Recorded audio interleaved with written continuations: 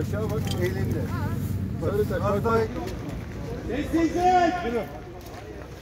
Evet, oradaki yeşil tabanı gördünüz mü?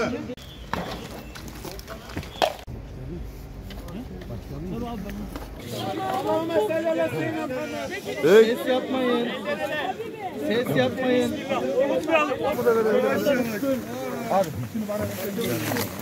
Elden ele, elden ele.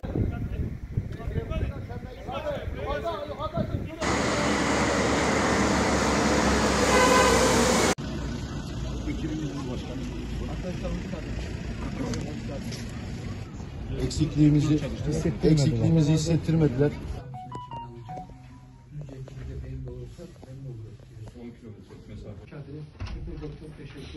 6 Şubat sabahı Kahramanmaraş merkezli 10 ilimizi etkileyen depremde biz sabah 6'da arama kurtarma ekibimizi yola çıkardık. Adana, Elbistan ve Hatay bölgesinde arama kurtarma çalışmalarında bulunduk. 8 gün boyunca onlarca vatandaşımızı enkazdan sağ çıkardık. Daha sonra Afet Genel Müdürlüğü'nün talimatıyla görevimizi sonlandırıp pazartesi akşamı geri döndük. Akabinde e, belediye başkanımız Doktor Sayın Faruk Özlü bizleri ziyaretinde bu göstermiş olduğumuz e, gayretten dolayı arama kurtarma ekibimizi, iki müdürümüzü ve bizi bir maaşla ödüllendirdi. Hemen arkasından biz ekip olarak toplanıp bu bize verilen bir maaş ikramiyeyi ödülün tamamını depremde zarar gören bölgeye, depremzedelere ulaşmak üzere AFAD aracılığıyla bağışlama kararı aldık. Tüm ekip olarak verilen bu ikramiyenin afetzedelerin kullanılması, onlara yardımcı olmak amacıyla bağışlıyoruz. Böyle bir karar aldık. E, bu da bizi çok duygulandırdı. Ekibimiz hem orada fiziki müdahalelerde bulundu. Gereken üstüne düşen görevi 24 saat esaslı hiç ara vermeden çalışıldı. Hava şartları çok zordu. Soğuk çok fazlaydı.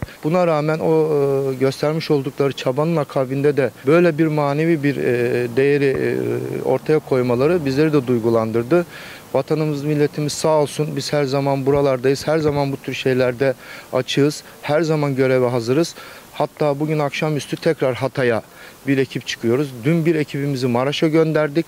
Orada enkazda kalan vatandaşlarımızın çıkarılmasına yardımcı oluyor. Biz de bu akşam itibariyle bir ekip olarak tekrar Hatay'a hareket edeceğiz. Vatanımız sağ olsun. Biz her zaman görevimizin başındayız. Ee, Büyüklerimizden de Allah razı olsun. Geçmiş olsun diyorum tüm Türkiye'ye.